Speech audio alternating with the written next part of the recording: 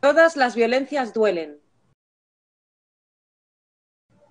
Abre los ojos. Actúa.